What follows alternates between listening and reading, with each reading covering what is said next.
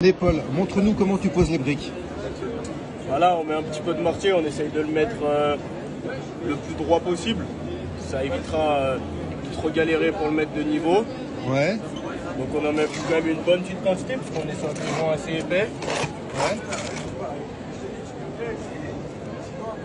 Donc voilà, on l'étale correctement. Alors Paul, il a commencé il y a, il y a trois mois. Là. Il a commencé en septembre. Et là, on est dans un salon des métiers. Et donc, euh, il est en train de montrer euh, le métier, voilà, en représentant bah, deux piliers.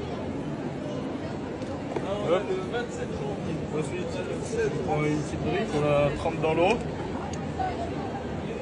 Ça facilitera euh, l'adhésion au béton. Ouais, l'adhésion au mortier. Hop. Alors la brique, elle a un sens. Chose qu'il n'a pas dit, Paul, c'est Ouais. que voilà, il y a des petites taches qui sont noires là. Faut qu'on les voie. Sinon, euh, il y a des petites écritures de l'autre côté, et puis le côté il est pas bien, c'est pas bien propre, donc on le met à l'intérieur. On le met dans le joint. ouais. Hop, donc on pose sa brique. Ensuite, on prend son niveau et puis on va vérifier l'aplomb. Donc là, euh, bah, on est pas mal. Ouais.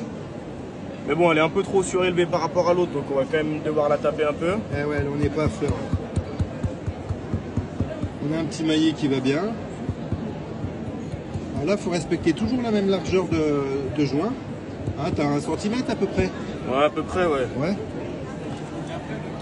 Donc là, bah, ça va, elle est, elle est restée droite. Et dans ce sens, elle est un peu surélevée euh, vers moi, donc on va la taper à l'intérieur. Ouais. Pour qu'elle soit de niveau. Hop. Après, je vérifie si on est aligné aux autres. Hop.